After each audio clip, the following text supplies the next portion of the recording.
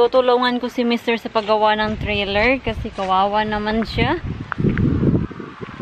Sabi niya na kailangan niya ng tulong. What are you spying? Oh, there's a swallow. Swallows. I didn't want to. Come on. You're late now. Did you lock your door? Yes. I've locked the door. Oy, may pa-music si Mr.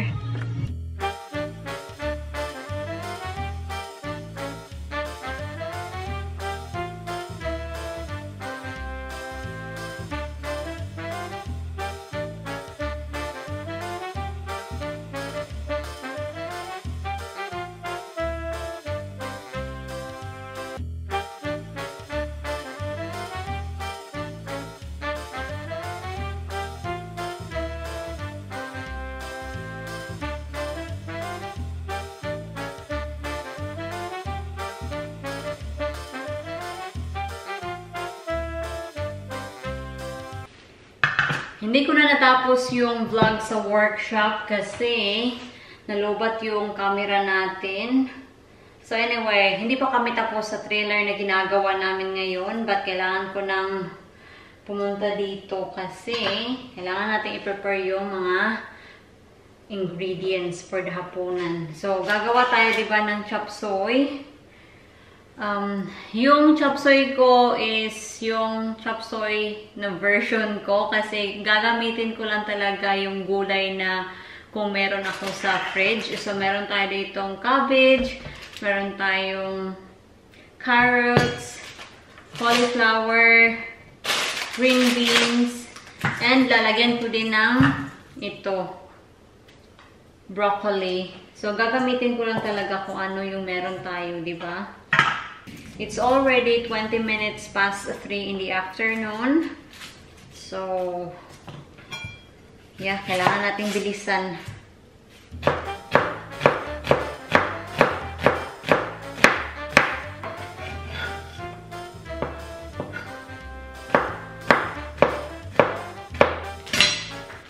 So, si Mr. pala, nandoon pa siya sa workshop. Half lang ng carrots yung gagamitin natin. Lalagyan ko din pala to ng red bell pepper. Ah! Hindi talaga kami friendly onion.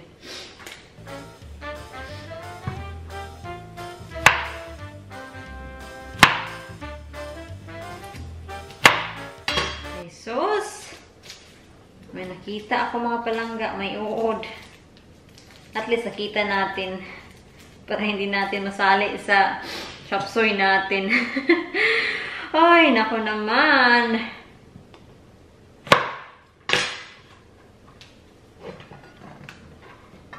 So, wag na kayo mag-comment ha na, na yung mga vegetable na ginagamit ko pang chop suey, mali. Basta sinabi ko sa inyo na gagamitin ko lang kung ano yung meron ako sa fridge namin. Gagamitin ko ba kung ano yung gulay namin dito sa bahay. Alam naman, hindi ko gamitin yung gulay kung ano yung nasa fridge namin. Eh, di masisira lang sila.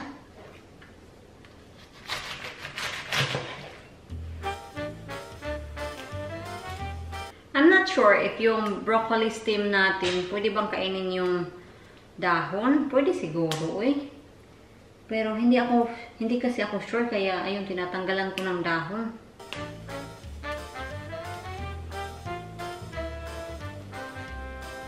And ang ginagamit ko lang is ito talaga. Hindi ko sila isasali ito. Sayang naman no, kung hindi ko siya isasali. Yung pinaka-stem talaga niya ba? Isasali ko na lang.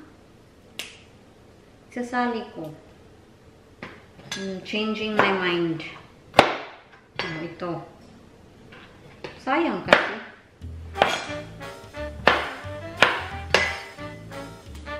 Hmm. Hmm, yun na. And so, ngayon, tapos na tayo sa ating vegetables. So, hihiwain ko lang yung ating karne.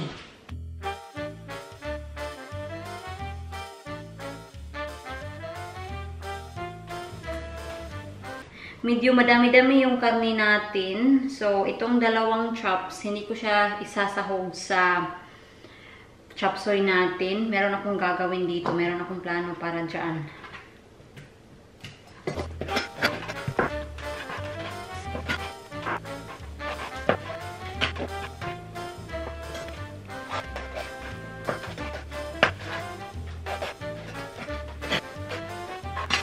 So, dito tayo. Itong malaking kaldero yung gagamitin ko. Kasi, ang plano ko kasi, dadamihan ko yung chop suey natin para good for 2 meals siya ba. Onion and garlic. Ay, hindi pa siya masyadong mainit, but never mind. Ilalagay na natin yung karne.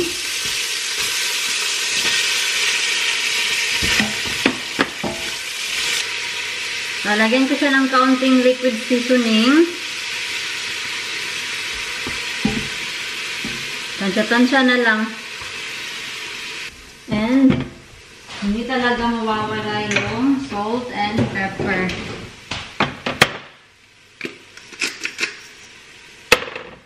Kaunting salt lang yung ilalagay ko kasi naglagay na tayo ng liquid seasoning. And then, maglalagay ako ng vegetable stock.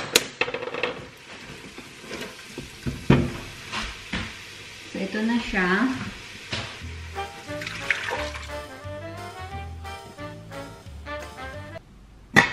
Hintayin lang natin yung kumulo. Kumukulo na siya. So, ngayon, lagyan ko siya ng oyster sauce.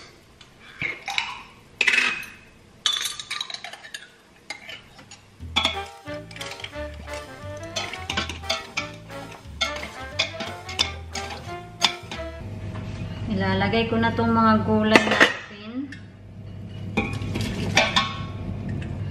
Ito siya. Sobrang colorful, 'di ba? So ngayon naman, itong pork natin, ang gagawin ko sa kanya is flat na naman siya, 'di ba? Pero gagawin ko pa siyang mas flat para mas madali siya maluto ba.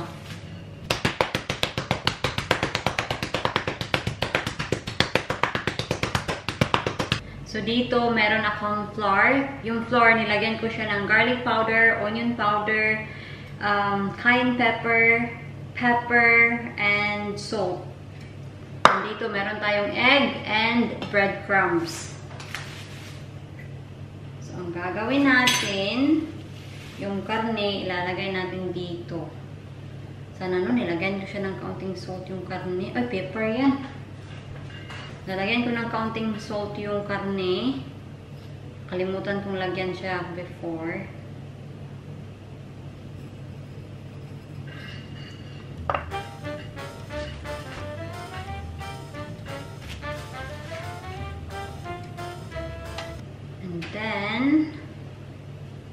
Natin siya sa itlog. and sa breadcrumbs.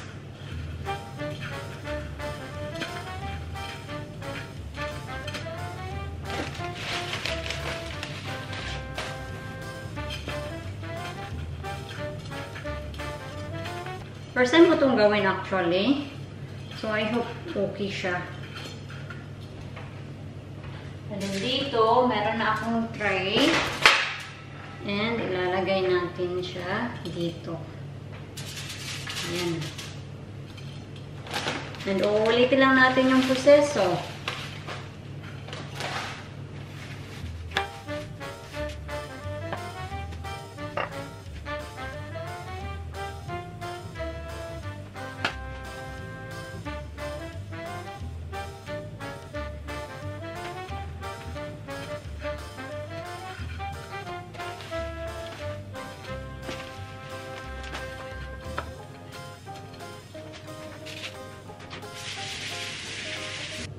So, ito yung before, before ng breaded pork chops. Yan. Hopefully, masarap siya. Lalagay Lagay ko na yung broccoli natin.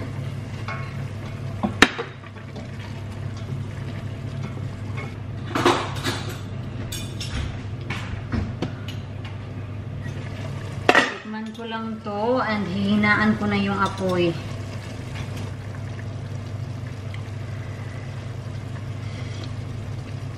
Mmm, sarap. Hindi ko pa siya lalagyan ng corn flour. Mamaya ko na lang siya lalagyan ng corn flour pang palapot. I think hindi na natin kailangan i-adjust yung lasa niya kasi perfect na perfect na siya. Hinaan ko lang yung apoy talaga. Uy. I-check lang natin yung ating breaded pork chop. Kung ano na yung hitsura niya. Wow! Tingnan niyo to. I don't think so. Naluto siya. I-flip over natin. Ayan.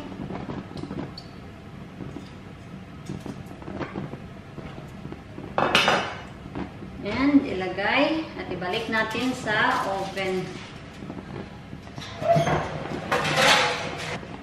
Medyo malilate yung hapunan natin ngayon kasi tinorn on ko yung rice cooker ko and hindi ko siya tinorn on sa actual electricity niya. So, ito on na to, 'di ba? Off to. Dito ko lang siya tinorn on and hindi ko siya na-realize agad na hala. Hindi pala siya nagsasaing. Kasi walang electricity, walang kuryente. Kaya ayun, medyo late tayo. And ito na yung after or outcome ng ating breaded pork chops. Yan, smells so good. Crispy naman siya, pero iba talaga siguro ba pagprituhin natin. Pero it's good that way kasi mas healthy siya. So, yung hapunan natin, um, ready na siya. Ipi-plate up ko na lang siya while si Mr. is watching TV. So, I will cut this into stripes.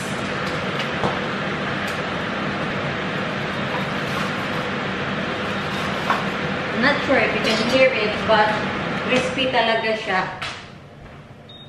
Lagayo kayo dito closely para marinig niyo. Marinig niyo pag hinihiwa natin.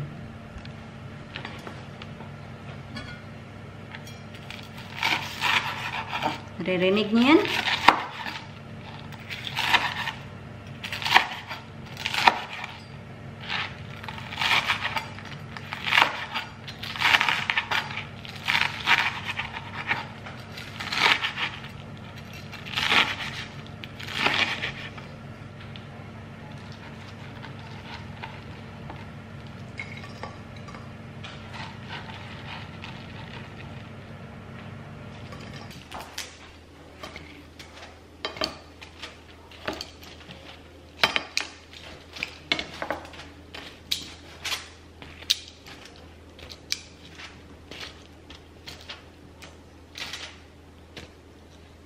There you go. Yan. Yung mga leftover, kakainin natin siya tomorrow.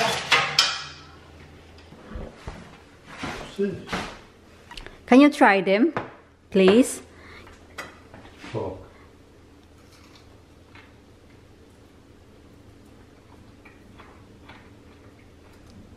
Is it okay? Hmm? Good. Uh, it's just a breaded pork chops. So anyway, ito lahat. And this is all Misters. And oo. yeah. Kain muna kami ha. Yeah. Hello, good morning. Good morning mga palangga. It's another day. So, mag-breakfast lang ako kasi tutulungan ko si Mr. sa paggawa ng trailer. Hindi kasi namin natapos kahapon. So, sabi niya na mag-breakfast ka muna kasi meron daw siyang customer first thing in the morning. So, gagawa ako ng fried rice. Ito na. Ito na yung fried rice ko with ham and of course, hindi mawawala yung kape. Kailangan kong bilisan yung pagkain ko kasi si Mr. nakita ko na he's just finished his first customer. Um, umalis na.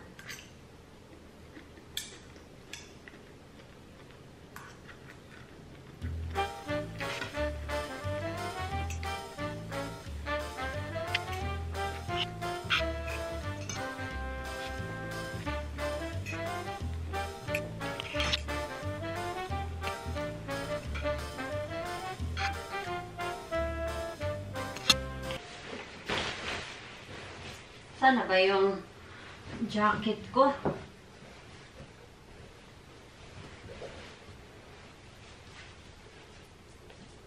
Kailangan nating magtrabaho para may ano, pera, pangbayad. Niloloko ko si Mr. Basabi ko, 50 pounds per hour. Sabi niya, you're too expensive. Joke lang naman, eh. Hindi naman ako binabayaran ni Mr. pag tinutulungan ko siya enough na na pinapakain ako niya dito. He's providing me what I needed. Magdala tayo ng gloves. Yung cellphone ko sobrang busy. Yung group chat ng university ko. Sus nako, daming chika. Tapos na rin sa wakas sa isang trailer and kanina pala nung gumagawa kami ng trailer, si postman dito and na-receive ko na yung residence biometric permit ko. Sandali lang ha, I need two hands. Ito na! Ito na siya mga palangga. Ito na yung residence permit ko. Kinikilig ako mga palangga kasi um, feeling ko ito yung pinaka the best birthday gift ever na natanggap ko kasi dumating siya on time itong biometric residence permit ko. Binuksan ko na siya actually kasi after na gumawa kami ng trailer, nag-lunch kami, and then after lunch, I went here, straight here to Colde University na natanggap ko na and I've sent a copy for them para ma-okay na nila kasi pending pa yung right to study ko. And of course, kailangan ko ding kumuha ng DBS. Yung DBS is para siyang NBI clearance sa atin. So, ito yung residence permit ko. Sandali lang, ha? Oops. Mag-insert na ako dito ng picture para makita niyo, para naka-blur na yung mga details ba, yung mga important details. And, nung first time ko siyang makita, hala sabi ko, hala valid until 2024. Pero sabi dito sa letter, I'm not sure if naintindihan ko ba ng tama, kailangan ko tong ipabasa kay Mr. Sabi dito na yung ano daw, um, saan ba yun? Ang expectation ko kasi sa indefinite leave to remain, akala ko indefinite leave to remain na ba yung walang expiration. Sabi ko, lah, bakit until, valid until 24 siya, 2024? Pero binasa ko dito sa letter, don't quote me for this ha, kasi I'm not sure if naintindihan ko ba ng tama yung letter. Pero sabi dito na ang ambisyon nila is walain na yung mga physical evidence by the end of 2024. So, ang sabi nila na ang i-implement nila is walain na lahat yung mga physical evidence tulad nito. Hindi ko papakita sa inyo kasi sobrang hirap i-edit. Um, at ang gagawin nila is online evidence na lang yung tinatawag nila na e-visas. So, yun na siguro. So, hindi naman siguro talaga siya mag expire ngayong 24, 2024. Pero, wala na akong residence permit ba na hawak nandoon na sa system nila, sa e-visa. Kailangan ko talaga to ipabasa kay mister para ma-enlight ako. But yeah, yun yung pagkakaintindi ko. Na itong residence permit na to, na hawak na to, na evidence ko is valid siya until 2024 pero in the system, valid pa siya. Tama ba? I don't know. But yeah, yun. Tatanungin ko yung abogado namin para maintindihan ko talaga. Kasi kung kailangan ko pang mag-renew ngayong 2024, naku naman! Another money na naman. Sus, naku. Sabi nga ni Mr. na kung ganun na palagi ka na lang magre-renew, so ano na lang, mag mag-apply ka na lang ng citizenship. Kasi ang mahal kaya mag-apply ng ano, visa. Mag-renew ng visa. So, let's see. Ito na, tatawagan na ni Mr. yung solicitor. So, makikinig tayo. Uh, I'm not sure if she will answer the phone because she normally doesn't answer the phone every time you call her. And she normally just ring back. As expected, hindi siya sumagot. Kaya hintayin na lang namin kung kailan siya mag-get back sa amin. Either today or tomorrow. Aalis tayo. Pupunta tayo sa Tesco. Mag-grocery. Pero naka-makeup ako. Yan.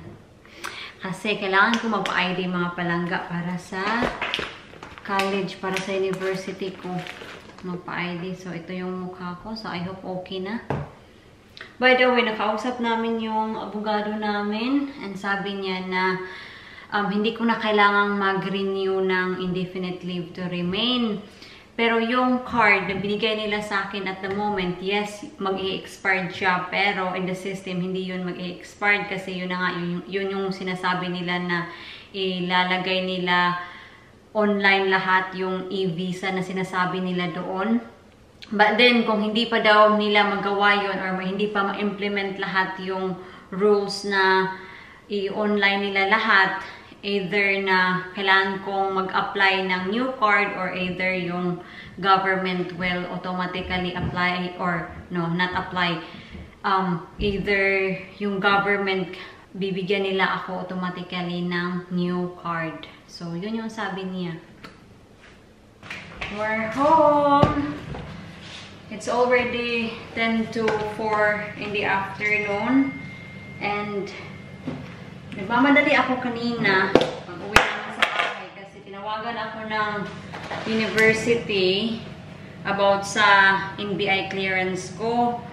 Kasi meron, before kasi sila um, mag-proceed sa process, meron silang initial question na I need to um, answer before they can go ahead with the application. So, ayun, sinend ko na yung kailangan nila.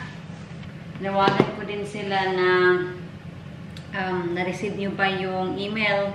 And they said, yes, um, I have received your email and we will send you a link para maka-apply na daw ako ng DBS. Yung hapunan natin ngayon is yung leftover na chop suey. And nagsasaing na din ako. And dahil nagustuhan ni Mr. yung breaded pork chop na ginawa ko kahapon, gagawa ulit ako ngayon para uh, kainin namin together sa aming chop suey kasi kaunti na lang yung chop suey namin. Hindi na ako mag-i-spring rolls. So ito na lang yung gagawin ko.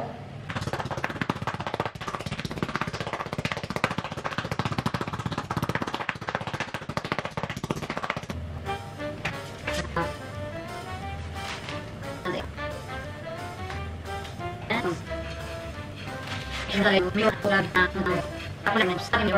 no,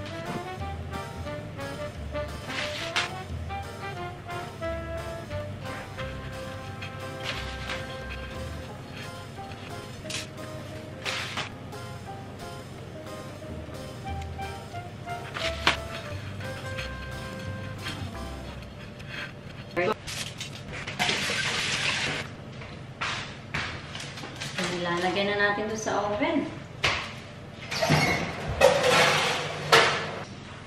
One minute na lang. So, kailangan na natin i-check yung pork chops natin. Mm-hmm. Come on. Ang bango-bango talaga. Hmm.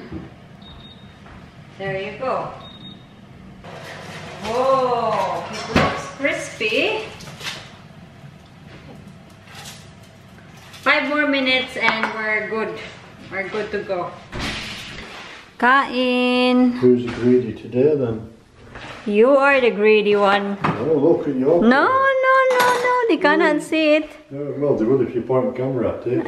At it. So, ito na. She's having extras today. Not extras.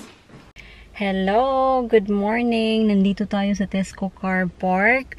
Pupunta ako sa post office ngayon. Dito ako nag-park kasi yung post office na pupuntahan ko, wala silang parking. So, dito tayo mapaparking. So, papunta ako sa post office to have my identity verified para sa NBI clearance. So, let's go. Maglalakad na tayo. At tingnan nyo, it's been a while na nagamit ko tong bag na to. Ito yung bag ko na ginagamit ko sa trabaho. I think I parked badly. Am I on the line? I got a big space right here. Sus na ko naman. Very bad. I'm here. I'm here inside the car. So, tapos na tayong ma-verified. And sabi niya doon na the information will go straight to the university or yung company na ginamit ng university. Ang aga-aga pa mga palangga pero may queue na sa post office. Akala ko 9 o'clock sila mag o-open. 8.30 pala. So mag-drive muna tayo ha. And I'll see you at home. Mabibihis lang ako and then kakain ako ng agahan. Yung mga classmates ko, tapos na sila sa kanilang DBS. Nahuli yung DBS ko kasi yung university, hindi nila ma-process yung DBS ko without my resident permit. Kaya, the day na dumating talaga yung residence permit ko, tinawagan ko sila agad. Pero nag-wonder ako mga palangga. Kasi sabi doon na kailangan ko magbayad for the DBS. 60 pounds ata yun. And then, last night, I did fill in all the relevant documents. Lahat-lahat ng hinihingi doon sa DBS. And so, akala ko, kailangan ko magbayad. So, hindi ako pinagbayad sa online. So, sabi ko, ah, baka sa post office na ako magbayad after sa ID verification ko. Pero wala. Wala akong binayaran. And sabi naman doon sa payment status, not required payment. Ata yun. Pag-insert ako dito kung ano yung sinabi doon. But yun, na-surprise na lang ako ba kasi bakit ako hindi pinagbayad? Ano, libre? Dahil kakatapos lang ng aking visa. So, hindi ko alam. Kailangan kong tawagan yung university and i-double check sa kanila kung okay ba yung ginawa ko. Kasi nag-wonder lang ako ba. Tinawagan ko talaga yung university ko mga palangga kasi nag-alala ako at na-curious talaga ako if ginawa ko ba ng tama yung application ko sa DBS or mas kilala sa atin na parang NBI clearance ba. And so, kinausap ko si um, ano ba yung pangalan niya? Tina. Sabi ko na, nag-alala ako kasi wala akong binayaran. Akala ko magbabayad ako ng 60 pounds. So, sabi niya na if you are a healthcare student daw, hindi ka na magbabayad ng DBS. So, parang nahulog siya na libre. And kung curious din kayo mga palangga kung ano yung requirements ko nung nag-apply ako ng DBS, DBS siya stands for Disclosure and Barring Service. Barring ba or bearing? So, yun yung ano niya, meaning. Pero, para hindi kayo makonfuse, sa tawagin ko na lang na NBI clearance sa atin. So, yung company, they are asking me to provide three documents and yung pre-provide ko lang na documents my passport, biometric residence permit, and my driving license. But then if you don't have those IDs, they will accept alternative documents or IDs. Um, like for example, electricity bill, water bill, P60, council tax. Basta, they will give you a list of what documents they are accepting as long as na merong nakatatak na pangalan mo doon and address and yung documents hindi siya luma, hindi siya 12 months older. So, sabi doon. And yun lang. Yun lang yung ma-share ko sa inyo. So, hopefully lang hindi siya matagalan and I will give you an update once I have my DBS or NBI clearance. And ito na rin yung vlog natin for today. I will see you in my next vlog and bye!